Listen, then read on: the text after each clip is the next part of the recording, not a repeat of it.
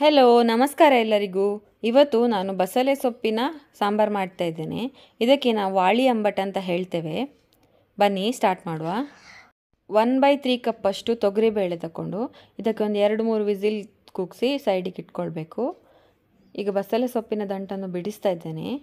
ಇದರ ಸೊಪ್ಪು ಹೀಗೆ ಕಟ್ ಮಾಡ್ಕೊಳ್ಬೇಕು, ಸಣ್ಣ ಸಣ್ಣದಾಗಿ. ತುಂಬ ಸಣ್ಣದೇನು ಬೇಕಾಗಿಲ್ಲ. ಸ್ವಲ್ಪ ಮೀಡಿಯಮ್ ಸೈಜಿಗೆ ಕಟ್ ಮಾಡಿಕೊಂಡ್ರೆ ನಡೀತದೆ. ಮತ್ತು ಇದರ ದಂಟನ್ನು ಸಹ ಕಟ್ ಮಾಡಿಕೊಳ್ಬೇಕು. ಎರಡು ಈರುಳ್ಳಿ ದೊಡ್ಡ ದೊಡ್ಡಕ್ಕೆ ಹೆಚ್ಚಿ ಕಟ್ ಮಾಡಿಕೊಳ್ಬೇಕು. ಹೆಚ್ಚಿಟ್ಟಂಥ ಬಸಳೆ ಮತ್ತು ಈರುಳ್ಳಿಗೆ ಸ್ವಲ್ಪ ಉಪ್ಪು ಹಾಕಿ ಬೇಯಿಸಲಿಕ್ಕೆ ಇಡಬೇಕು. ಈಗ ಮಸಾಲೆ ಮಾಡ್ಕೊಳ್ಳುವ. ಪ್ಯಾನಲ್ಲಿ ಸ್ವಲ್ಪ ಎಣ್ಣೆ ಹಾಕಿ ಐದು ಘಾಟಿ ಮೆಣಸು, ಎರಡು ಊರಿದ ಮೆಣಸು ಹಾಕಿ ಇದನ್ನು ಚೆಂದ ಮಾಡಿ ರೋಸ್ಟ್ ಮಾಡಿ ಹುರ್ಕೊಳ್ಬೇಕು. ಗ್ಯಾಸ್ ಆಫ್ ಮಾಡಿಕೊಂಡು ಇದಕ್ಕೆ ಅರ್ಧ ಕಪ್ ಕಾಯಿ ತುರಿಯನ್ನು ಹಾಕಿ ಸ್ವಲ್ಪ ಬಾಡಿಸ್ಕೊಳ್ಬೇಕು. ಮಿಕ್ಸಿ ಜಾರಿಗೆ ಹುರಿದಿಟ್ಟಂಥ ಮೆಣಸು ಮತ್ತು ಹುಳಿ ಹಾಕಿ ಒಂದು ರೌಂಡು ರುಬ್ಕೊಳ್ಬೇಕು. ಈಗ ಅದಕ್ಕೆ ಅರ್ಧ ಕಪ್ ಕಾಯಿ ತುರಿ ಹಾಕಿ ಸ್ವಲ್ಪ ನೀರು ಹಾಕಿ ಇದನ್ನು ನುಣ್ಣಗೆ ರುಬ್ಕೊಳ್ಬೇಕು.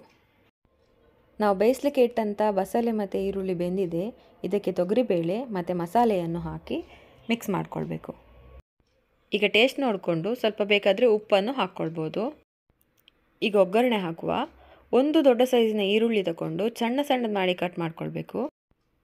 ಪ್ಯಾನಲ್ಲಿ ಒಂದು ಮೂರು ಟೀ ಸ್ಪೂನಷ್ಟು ಎಣ್ಣೆಯನ್ನು ಹಾಕಿ ಅದರಲ್ಲಿ ಈ ಈರುಳ್ಳಿಯನ್ನು ಹುರ್ಕೊಳ್ಬೇಕು. Golden brown ಆಗುವಲ್ಲಿವರೆಗೆ ಹುರ್ಕೊಳ್ಬೇಕು.